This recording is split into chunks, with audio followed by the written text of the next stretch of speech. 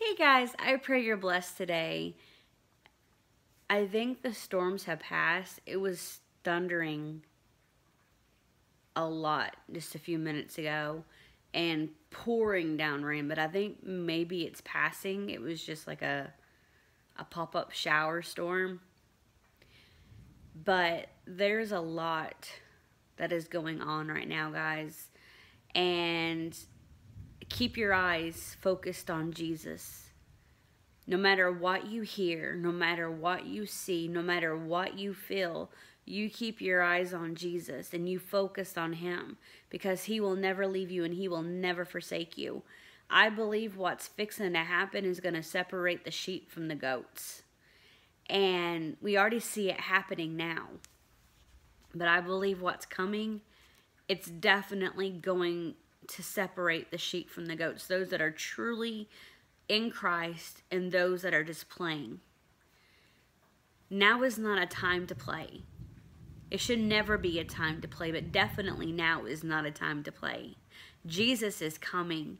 And if you don't know Jesus, you are going to be left behind for the worst seven years in humanity's history. I am telling you, World War III is about to erupt and it's coming to America. I truly do believe that.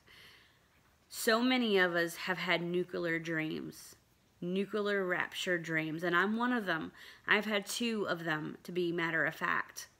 One of them, I'm not quite for sure if it was a nuclear bomb or not, but if it wasn't, it was definitely something devastating that happened to to the world. But in my spirit, in my heart, heart of hearts, I believe that it's nuclear. And I might get censored for this because I'm saying that word a lot. I don't know. And honestly, frankly, I just don't care. I I am not here to to appease man. I am here to to warn people. I am here to tell people to wake up because Jesus is coming back. And I really don't care if you think I'm crazy or not cuckoo for Cocoa Puffs. I could really care less what you think of me. My job here is to warn people. My job here is to give people hope.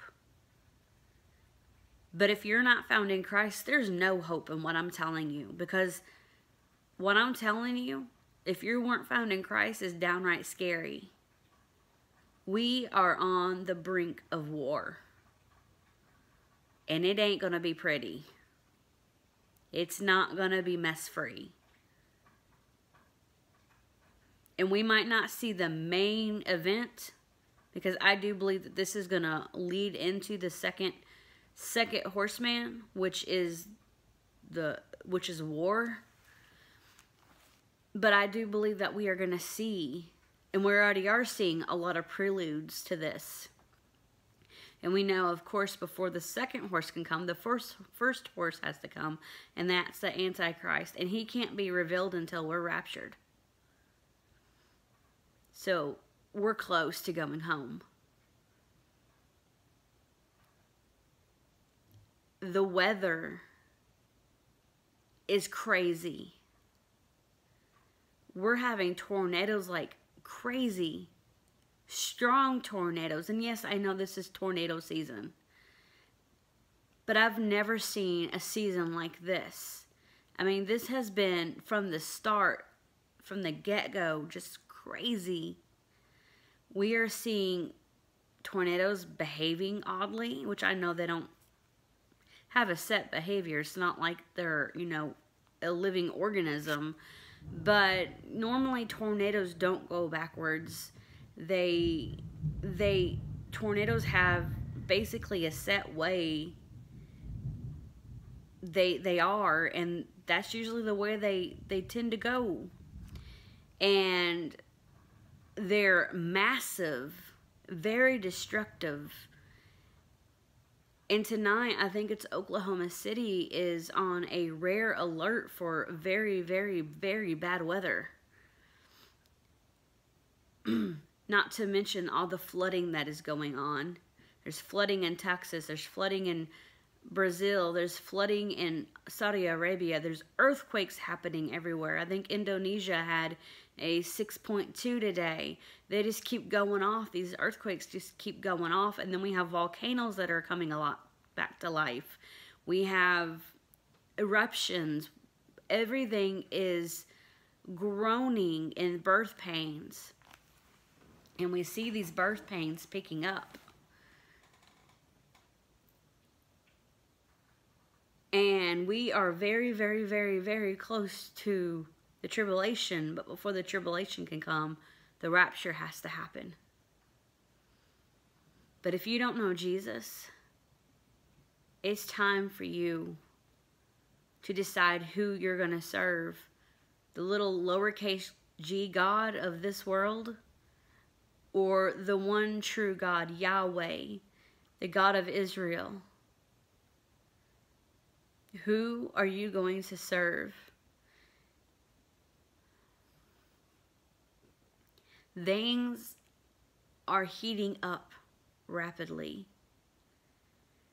And there has definitely been a shifting in the spirit. You can feel it. It's it's tangible almost. The the spiritual warfare is off the charts.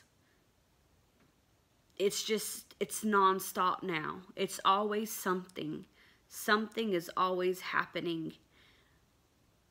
People are worn out mentally, physically, spiritually. Everywhere I turn around, people are exhausted.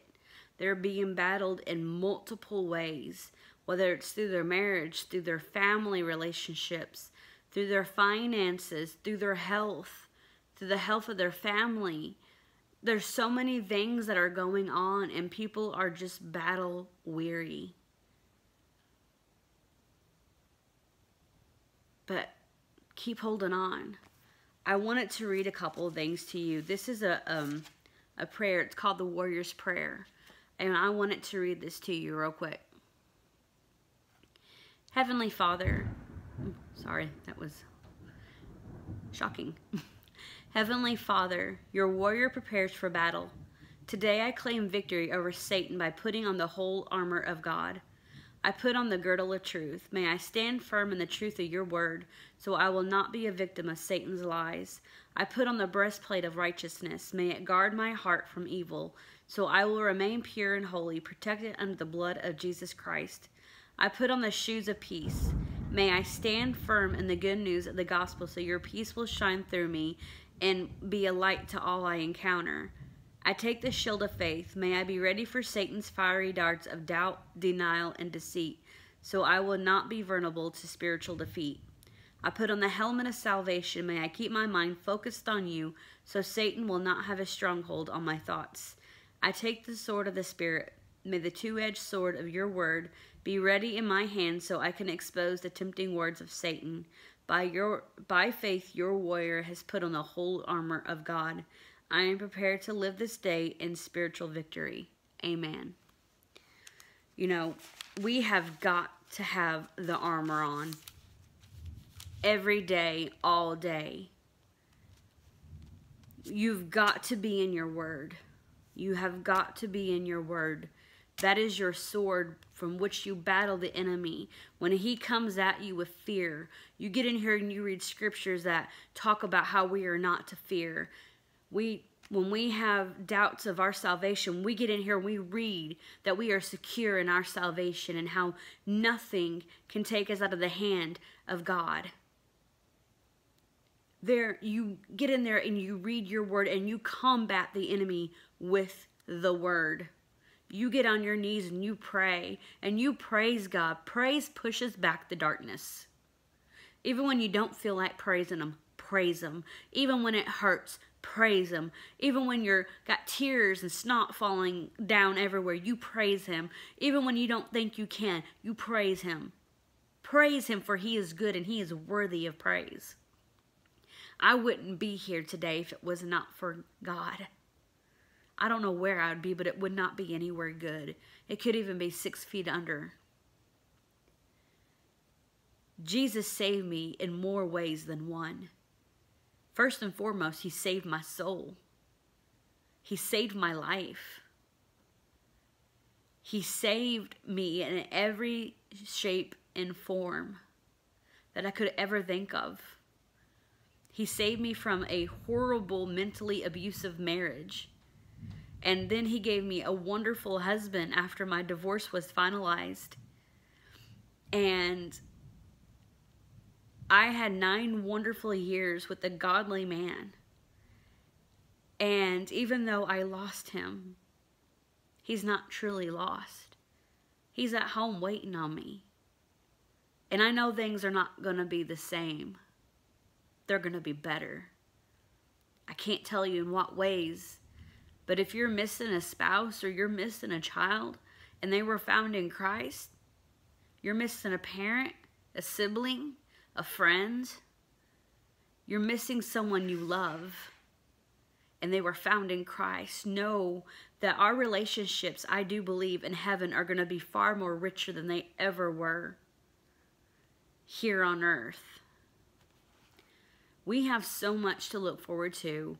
And not only that, but just think we are going to be with Jesus for eternity. That alone is just enough to make me want to cry. Knowing that we are going to be with our Lord and our Savior for all eternity. We're going to get to do things that we could never do in these limited bodies we are going to have amazing adventures with each other, with Jesus, with those we love the most. We are going to have a wonderful time and it will never end. You know, here on this earth, everything is temporal, but in heaven, everything is eternal.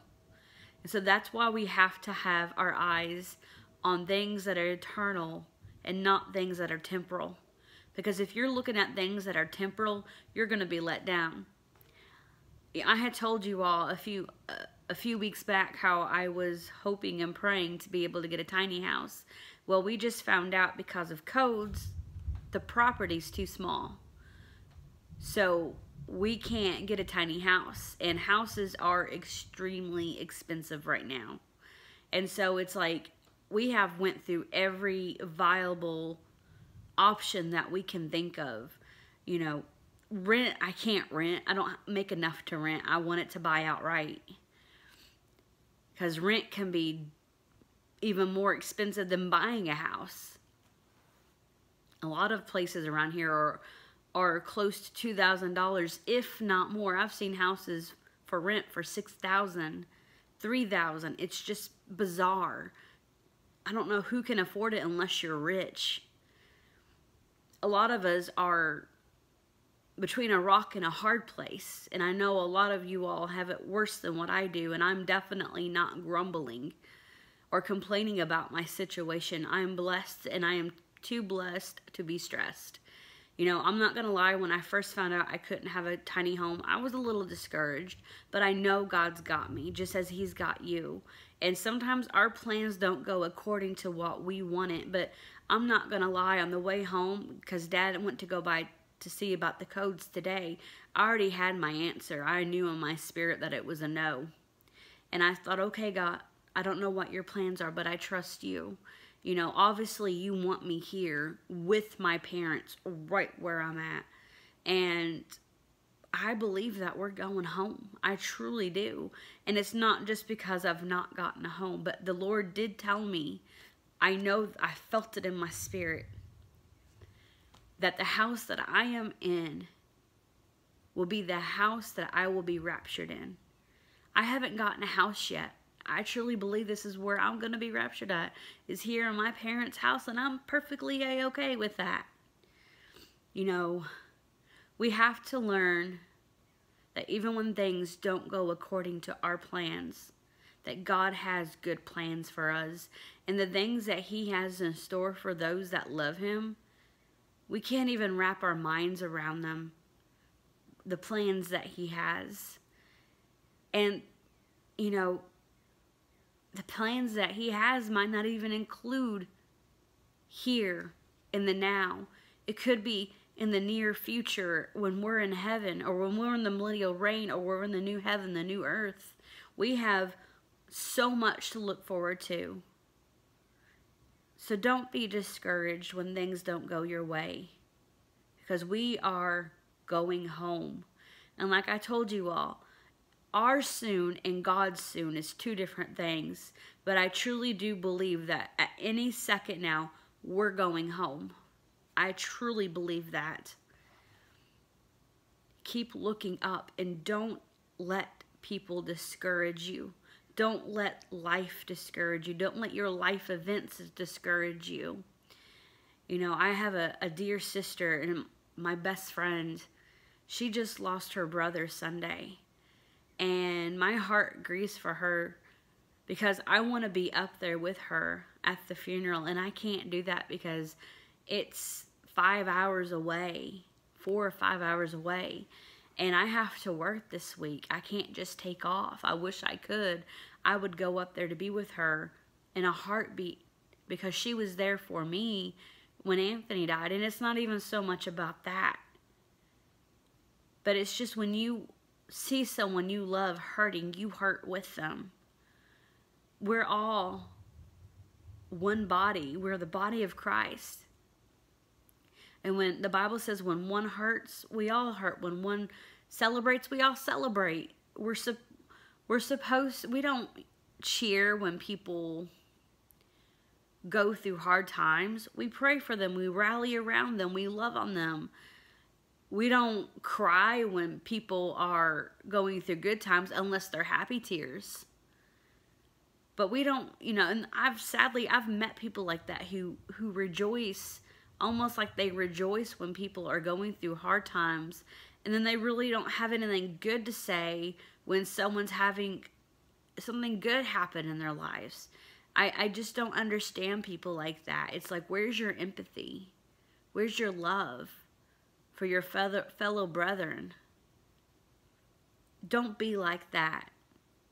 If you know someone that is hurting, you go to them and you pray for them and you love on them and you let them know that you care.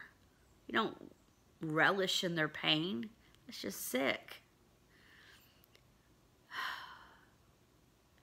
But everything within my spirit cries out that we are going home soon. I feel in every fiber of my being that we're going home. And I believe that's why every time I'm hearing a sound, it's like, oh, that's a trumpet. And I get so excited because it's like, I, I, I feel in my spirit, it's literally that close that any second now is going to be that day that we're going home. Any, any moment that trumpet's going to sound and we're going to fly. Don't lose focus and don't lose hope. Keep your eyes on Jesus. No matter what it looks like, no matter how you feel, don't lose hope. Like I said, guys, there's a whole lot going on. There's a whole lot of shaking going on. And God had spoken into my spirit about a year ago and he told me, I'm about to shake the very foundations of the of the earth, of the nations. And it's going to do one of two things. It's going to draw people to me or it's going to draw them away and they are going to shake their fist up at me and they're going to curse me and it reminded me of Revelation when even after all of this had befallen them, the boils, the scorching sun, they would they would raise their fist at God and curse God and refuse to repent. That's scary. That is scary. But see, these people are the ones that are going to get the mark.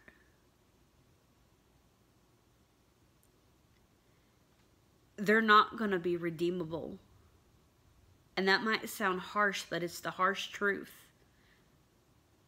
Those that get the mark, forehead or right hand, won't be redeemable. It does something to them, it changes them. And they're no longer redeemable.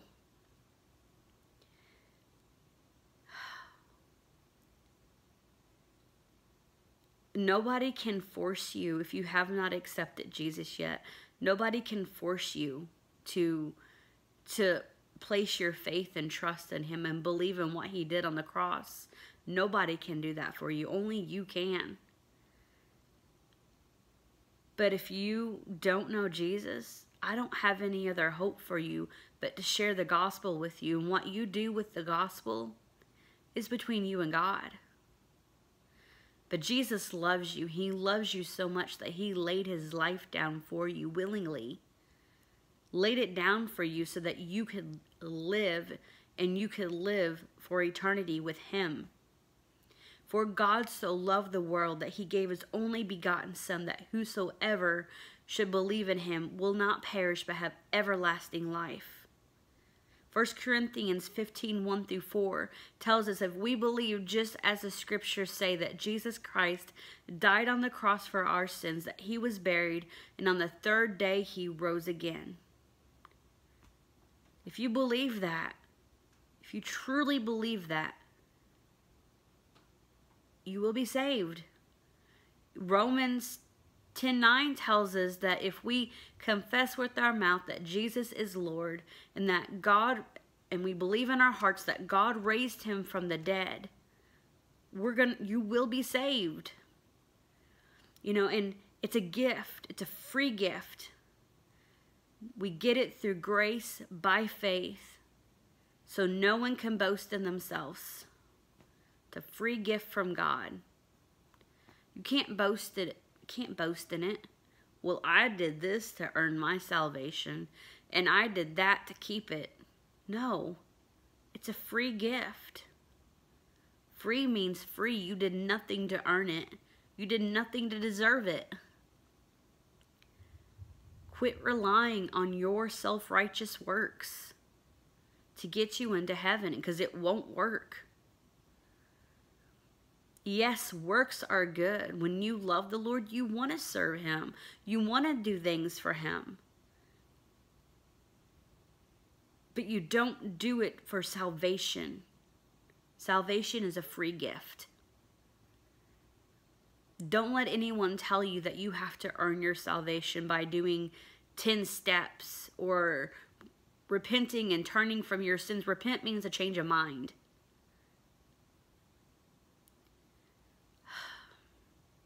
So don't let anyone tell you you have to turn from your sins because if you could turn from your own sins, then Jesus died in vain. I wanted to read this to you all real quick.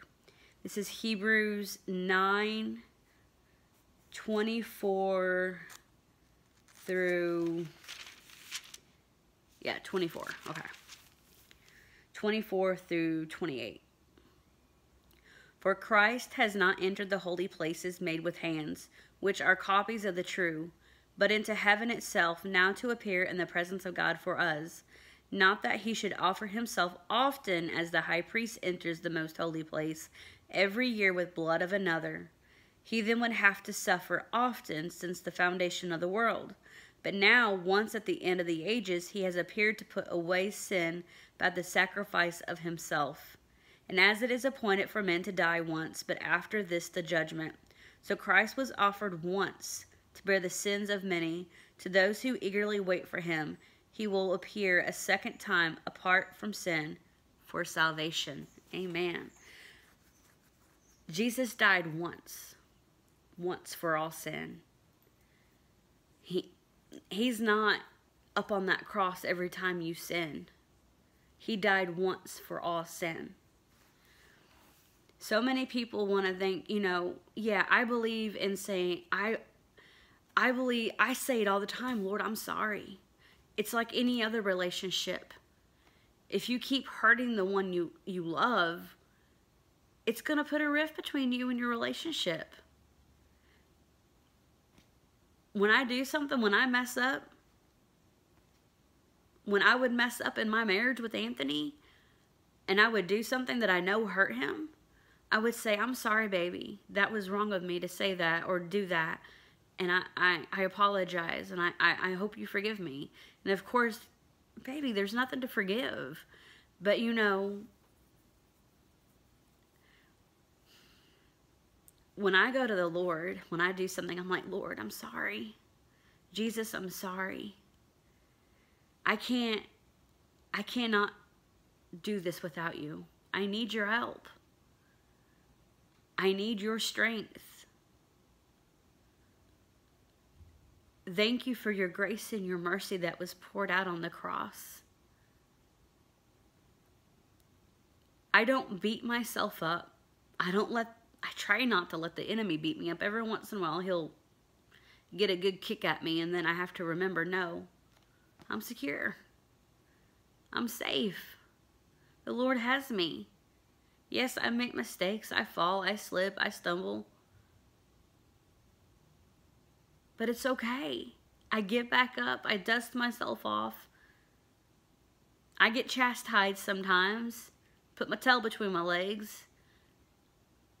But the Lord, when He chastises, He chastises those He loves. It's just like when you have a child and you, you get onto them for doing something wrong.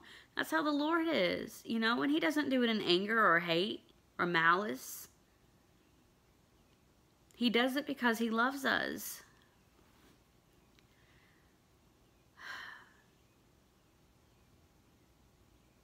Quit beating yourself up every time you stumble. Quit letting the enemy beat you up. Quit letting other people beat you up. Nobody, nobody is perfect. And if they are, then they're in delusional land because nobody in this flesh is perfect. We all fall short of the glory of God. None are righteous, no, not one. We are made righteous through Jesus Christ, through what He did on the cross, not of our own self. Our righteousness is as filthy rags in God's sight. It's stench in His nostrils. You know, and I heard some. There was a lady on, and I had to. I had to just the Holy Spirit really had to get a hold of me and just say, walk away and pray for them. Sletty was getting on there and calling Israel the synagogue of Satan and blasting Israel and basically saying that Netanyahu was comparing him to Hitler. And it just, it made me sick to my stomach because this lady claimed to be a Christian, but then she started talking about the law and how, you know, we're still under the law. And I'm like, no, we're not. I'm not. You might be, but I'm not. But it was sad because she had a, a whole gaggle of geese following behind her, just quacking what she was, honking what, what she was saying, agreeing with her. You know,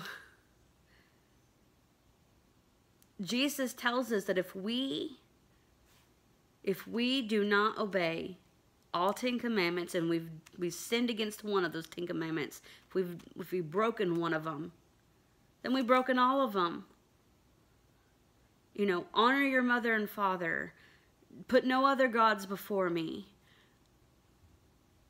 All of these Ten Commandments, I, I, I know them. I just can't think of them all the top of my head right now. Sorry about that. I'll post them in here.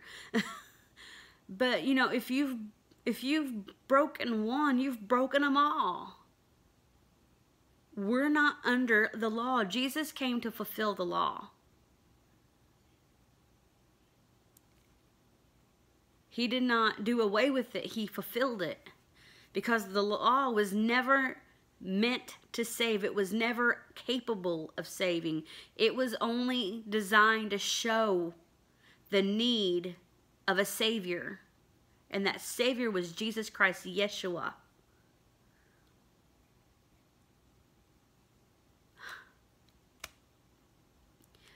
But the law was never meant to save. It couldn't save.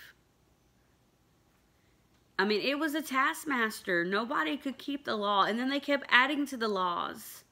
You know, you have the Ten Commandments, and then they kept adding all of these different laws. Besides the law of Moses, they kept adding. And by the time they were done, I think there was 630, like 630 something like that laws that they had made i can't keep the the, the 10 you know how many of us have coveted how many of us have have stolen something have lied have put things before god whether we mean to or not How many of us have honored our parents? How many of us dishonored our parents? I know sometimes I can get a little mouthy and I have to I have to remember that that's my mama and she's still, you know, she can still beat me up. Take her flip flop off and knock me in the head. Knock my teeth out. You know, if you've disobeyed one, if you've not kept one, then you've not kept any of them. We're not under the law. And that just made me so sick. Not only to see her talk about Israel the way she did, like they were the synagogue of Satan, but also to hear her talk about how we're still under the law. And we're not. I don't want to be under the law.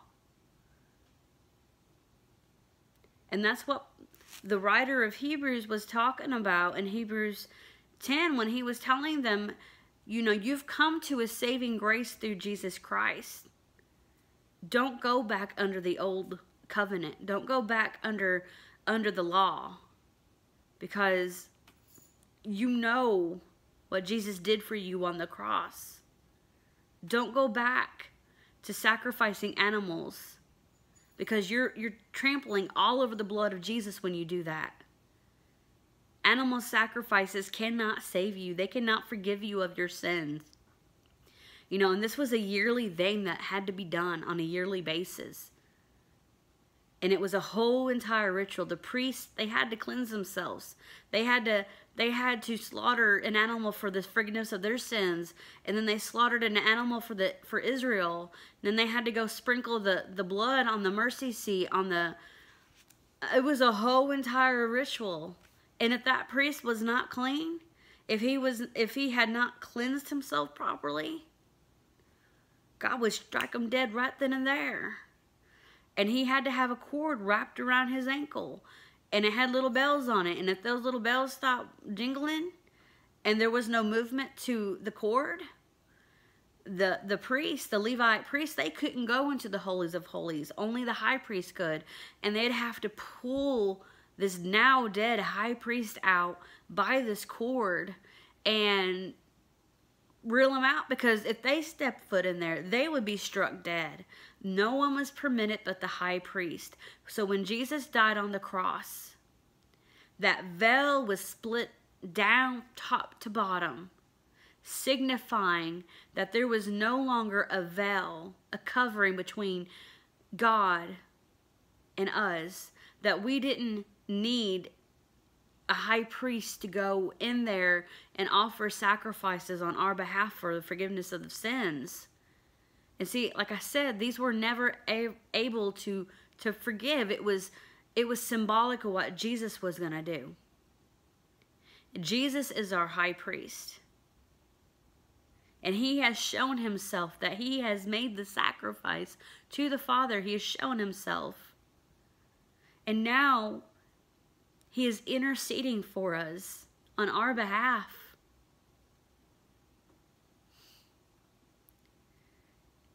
When you realize what Jesus did for you, it makes you so grateful and so thankful because he paid a price that was very, very hefty. And he didn't have to do it, but he did because he loved us. You know, he loved us while we were still sinners. And we weren't born when when Jesus died on the cross. But he died for us even though we were not yet alive. He died for all sin, all sins of everyone, past, present, and future.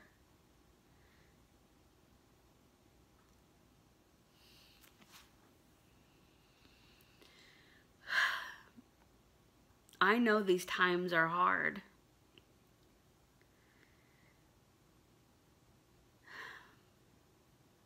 Keep holding on.